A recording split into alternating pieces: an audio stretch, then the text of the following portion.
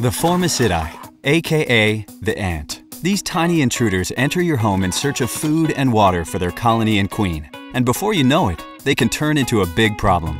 That's why we put almost 60 years of ant research into designing a way to beat ants using a combination of products and non-chemical tips. The result is the Raid Defense System. Beating ants starts by preparing for the attack. Before you begin, clean the area. Then cover any exposed food, water, and dishes. Now that you're ready to attack, remove all children and pets from the room. Grab the Raid Ant Killer spray and shake well before use. While holding the spray upright, press button to spray the ants you see and the trail they're following. After spraying, leave area and continue to keep pets and children away until spray has dried. Spray will continue killing ants for up to four weeks unless it's wiped up. Use Raid ant baits to kill the ants you don't see. To begin, separate the bait stations.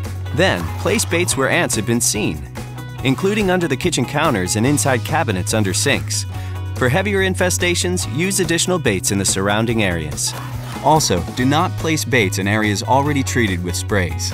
Raid ant baits work when ants bring the bait back to their colony. So don't kill the ants leaving the bait. They're on their way to killing their queen and colony. Replace bait stations every three months.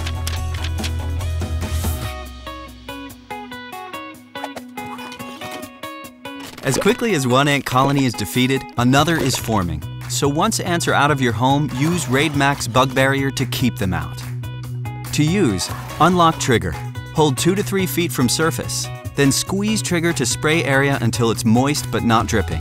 Once finished, lock trigger and keep children and pets away until area is dry. Remember, the best way to beat ants is to never have to do battle with them.